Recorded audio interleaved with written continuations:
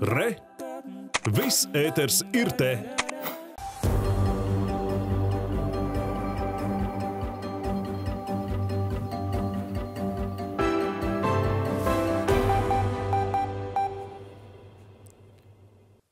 Labrīt! Šorīt Latvijā neliels mākoņu daudzums vietām Kurzemes vidienē un arī valsts centrālajā daļā līst. Un arī pie jūrmalas ir eh, šobrīd koncentrējušies lietus mākoņi un tur nedaudz līst. Valdošais ir mērens ziemeļrietumvējš, kas eh, Kurzemes ziemeļos pastiprinājies brāzmās līdz 10-18 metriem sekundē.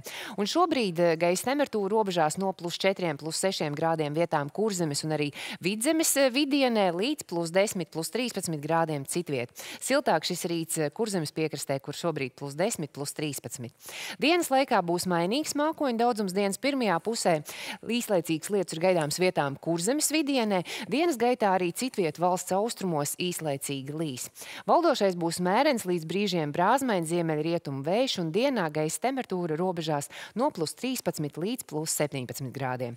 Par laikapstākļiem, kādi gaidām Rīgā, tad šobrīd Rīgā spīd saule, nokrišņu nav, gaisa temperatūra plus 10, plus 12. Dienas laikā laikā tā paaugstināsies līdz plus 15, plus 16 grādiem. Starp mākoņiem uzspīdēs sauli, nokrišņi nav gaidāmi, tomēr arī Rīgā saglabāsies mērens līdz brīžiem brāzmēns ziemeļrietumu vējš.